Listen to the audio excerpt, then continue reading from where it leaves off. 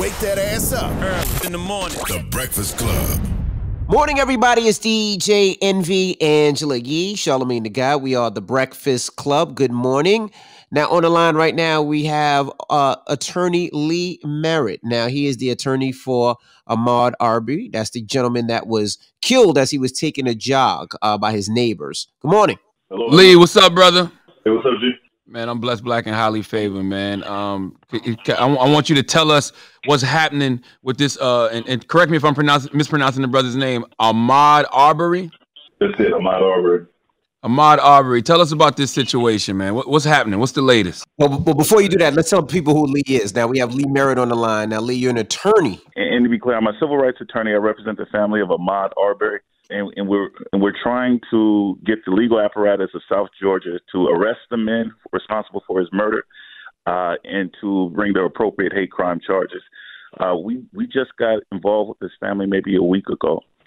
And what we learned, what the family was initially told by law enforcement, was that Ahmaud Arbery was in the midst of a burglary, was bur- actively mm-hmm. burglarizing the home when uh, the homeowner caught him and used deadly force, which would have been completely justifiable under the law. That was the story the family was told. Obviously, the video came out yesterday. He was no, nowhere near anyone's habitat. He was jogging down the street, um, and they they already created an alternative narrative where these were people who they suspected him of burglarizing homes sometime in the past. And as a result, uh, they were tr- trying to perform a citizen's arrest.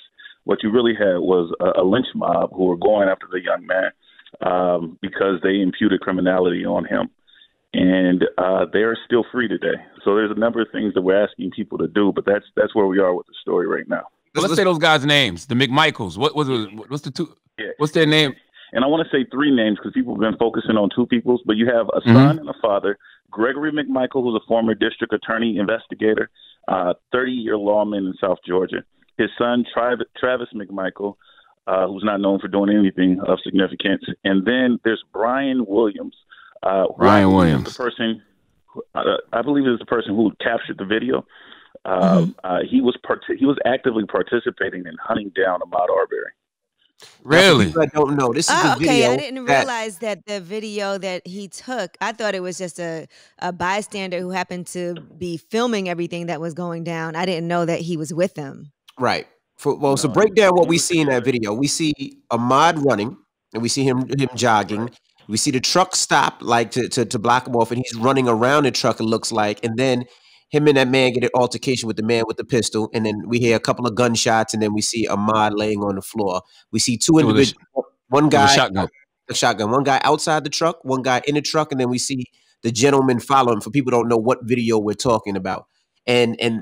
And that's what we're trying to figure. Now, Ahmaud, he was just doing his, his daily run. Is that correct? That's right. So Ahmaud Arbery is an elite uh, All American high school athlete from South Georgia. So, you know, football is king there. And he's very mm-hmm. big in the football community. In fact, we first learned about it by NFL athletes who knew Ahmaud and who had a relationship with him from his high school football days. Uh, and, and to break that video down a little further, the man that you see standing outside of the truck as Ahmaud is jogging down the street is Travis McMichael, and he is standing there with a shotgun it appears that Ahmaud was surprised by his presence because if you if you slow that video down frame by frame, you can see mm-hmm. him jogging at a steady pace. And as he approaches the truck, he sees a man standing there with a long gun. And so he darts to the right, and the man lifts the long gun and goes after him. At this point, the two are off screen. That's when you hear the first shot. And after that, you see Ahmaud fighting for his life. And I'm, I'm going to say I'm so proud of Ahmaud. And his mom hasn't been able to watch this video, but Ahmaud gave these men the fight for their lives and and I, I if nothing else, I can appreciate, and I've been reflecting on Claude McKay. I can appreciate him saying, "Look, I'm, I'm going down fighting." I wish Ahmaud had a gun. I, I wish Ahmaud had a gun to shoot back. So when people say right that they're doing a citizen's arrest, okay, because that's the story. Now the story has changed into oh, from going from seeing someone breaking into a house to then doing a citizen's arrest. What are the rules for a citizen's arrest? Right. And so I, I first, and I want to emphasize that this was not a citizen's arrest. That's a story mm-hmm. that they later came up with. However, if they, if you are a Georgia citizen and attempting to perform a citizen's arrest, you must personally observe a crime. It must be actively ongoing, or uh, that crime that just happened must be within your direct knowledge. In other words, you heard a gunshot, you looked over your shoulder, you saw someone lying on the ground. You can assume that the person holding the smoking gun is is is a criminal suspect. Uh, but other other than that, you have to see it with your own eyes. The only thing that these men ever told law enforcement they saw was Ahmaud Arbery running down the road, and at some point he stopped by a property that was under construction, and he looked through the window. And they used that to say, well, that was enough to perform a citizen's arrest, and it's just not.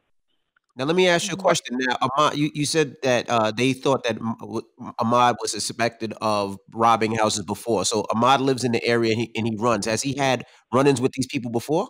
He has never been accused, suspected, arrested for breaking into homes before. He is a known runner. Uh, but mm-hmm. he has he, the only crime that they have ever even brought up with him was something from high school uh, in a shoplifting incident. So, no, which has nothing li- to do with this, by the way, at all. I don't even know why they're bringing that up. Did he live in this neighborhood? He lived. He lived a few blocks away, according to his dad. So did they know each other? Did the McMichaels and the um, uh, Arbery's know each other? Yeah, have they seen him before? No, so, no. So this is a very segregated community. So unless mm-hmm. you know he's going by for his run, black folks aren't going to be hanging out on the, in this part of, part of town.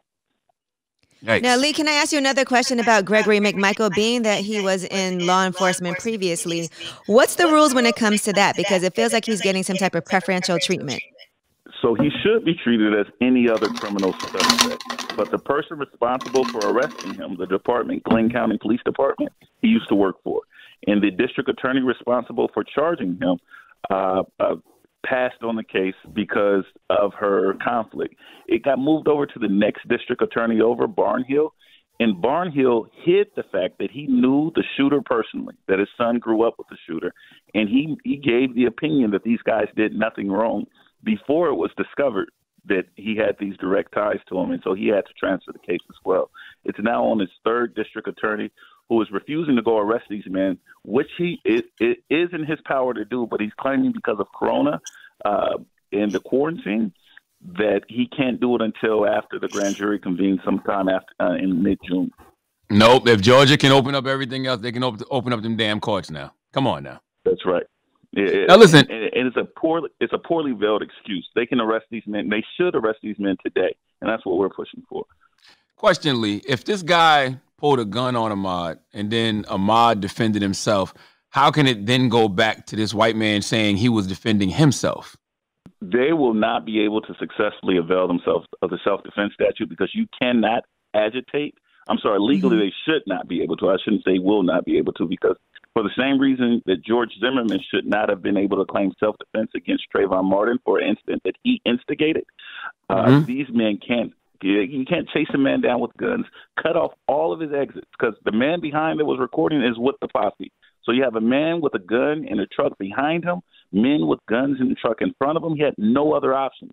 And so you can't claim self defense when you corner uh, a, a, citizen. I saw today that Joe Biden is coming forward and now demanding justice also for uh, Ahmaud Arbery's family.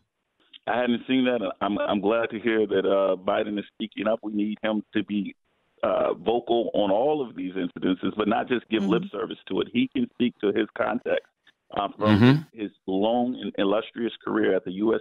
Department of Justice, because there are still some good U.S. attorneys in South Georgia who will be able to handle this case, who will go out and make the arrest, and who will successfully prosecute these men for hate crime charges. So not just words from uh, Mr. Biden, we need action. Now, yeah. when they shot and killed this this this young man, uh, I'm sure they called the police. They called 911, and when they called 911, what was the reason for shooting? Because I, I, mean, all that's taped. Right. So they called 911 prior to shooting. Mm-hmm. Um, and and they said they said we see a man. Uh, it, excuse my language. He said there he's hauling ass down the road. Um, and so that was their justification for stopping him. And when law enforcement finally uh, responded to the scene after Ahmaud Arbery was already dead, the excuse they used was, well, we were trying to perform a citizen's arrest. And he, well, they didn't say that at the time. They said mm-hmm. this man came after us and started violently attacking us, and so we had to defend ourselves. So the video clearly shows that, that that wasn't the case. So it clearly shows that they're lying, correct? Directly refutes all of their previous claims. Mm-hmm. How did how did they get the video from Brian Williams? If he was down with him, how did they get that video? So the the video was anonymously uh, shared online, We assume that they shared it around their circles for a while, and as the story began to get publicity over since the New York Times wrote about it about two weeks ago, uh, someone leaked it and, and uploaded it online. So them goddamn devils was bragging about it, basically, posting it on social media. The day that they murdered Ahmaud, his father went on on Facebook and bragged, "My son was the shooter," as if he was proud of it. Wow. No. Damn. I saw a group of kids. Uh, they were protesting, and they. Well, I don't know if it was just kids, but just a, a group of black people, and they were walking to the McMichael's house. What, what did they actually do that? I heard that they were out there walking to um, the McMichael's house. I'm curious, honestly, whether other Georgia citizens can avail themselves of the citizen arrest statute and go in and arrest uh, these men because there's clear evidence that they committed a murder, and the uh, Very true. the authorities have not made the arrest, and so and the authorities have even offered the opinion that these men could in fact perform a citizen's arrest of Ahmaud. So what is stopping the citizens of Georgia from arresting this man? Now I'm I'm not advising anyone put themselves in harm's way, but I'm wondering what whether we enjoy, enjoy the same protections under the law as these men do. Well, you know, you know we don't because we black. A question though: if, if I'm driving, right? Say I was driving down the road and I saw Ahmaud fighting for his life against these these three devils, and I had my pistol on me. If I jumped out and shot one of them, what would happen to me? Because it reminds me of the Tupac case from back in the day when Tupac shot some some somebody he, he saw getting assaulted. Right. Right, right. Now, I imagine you will be arrested and charged with murder or uh, aggravated assault. Uh, now, under the law, you are allowed to protect a third person. You can see someone uh, under attack, like Brother Ahmaud, and say, "I'm going to use my right to intervene for the safety of this person." It's completely uh, legal under the under the uh, statute. You know, I was wondering, uh, you know, people like this, this is not new to them. Is there any other cases of them harassing black people or anybody else in the neighborhood? Do we have anybody stepped up and said, hey, I had a situation with them before at all? So far, we have not been able to find those incidences, but like I said, Gregory McMichael, the father, is a 30 year lawman, uh, somebody who had a gun on his hip at all times. I I'm sure that we're going to find instances of brutality in his past. We find them in every case. Amber Guyger shot somebody not not too long before, not too soon before she shot Botham Jean. Roy Oliver, who killed Jordan Edwards, had a long history of violence. So every time these these police officers are caught, it's their third or fourth time at the rodeo. Right. Hey man, um, what do we got to do, Lee? What do we got to do? Gregory McMichaels, Travis McMichaels, Brian Williams. Like, what kind of noise do we got to make around this situation to make sure that these guys get arrested? Because I don't even, I don't even understand how they can even say this brother was a burglar. Because burglars don't wear white t-shirts and shorts and sneakers to go break in nobody's house in broad daylight. in the middle in the middle of the day. Uh, the person responsible right now for holding this, these men accountable is Tom Durden, a local Southern prosecutor. I don't trust Tom Durden to get the job done. I believe that the the Georgia Bureau of Investigation should step in, uh, that a U.S. attorney should take on the case, that we should be looking at federal hate crime charges because the local uh, law enforcement community over the past two and a half months has shown us what they plan to do to these men, which is absolutely nothing. We would be fools to sit back and wait for the legal process, for the, the grand jury to open up, uh, and for these men to be charged by local prosecutors. That is that is asking for our community to be disappointed. So if you go to runwithmaud.com, that's runwithmaud.com, we will give you Mhm. specific action steps to take to ensure that uh, that the right prosecutors get involved in the case, that there is a complete and thorough investigation. And again, we are pushing uh, for local officials to go out and arrest these men today. They are a danger to the community. Uh, they are a danger to the peace, and there's no reason that they should be free pending uh, indictment. Is there a number we can call just to harass that guy you just mentioned? Thomas, what did you say? Thomas what? Durden. Uh, Tom Durden. Tom Durden. Is that- You can find the number on runwithmaud.com. We will take you through an entire prompt. We provide scripts for you to go through. Uh, we have all the numbers that you can reach for the decision makers in this case. Got you. I want. All Cause I'm, right. I'm, I'm, I'm, I'm, I'm gonna put a petty party on uh all the decision makers, man. Oh yeah, 770-800-0689 to demand justice for Ahmaud right away. I'm on the website right now. I want all of our Breakfast Club listeners to go call that number 770-800-0689. Let's have a petty party on that phone line today and demand justice for Ahmaud, man. Absolutely. Yeah, yeah. All right, Thank brother. you, Lee. Appreciate you, King. We can. T- no, no problem, family. I appreciate you guys. All righty, bro. Thank you.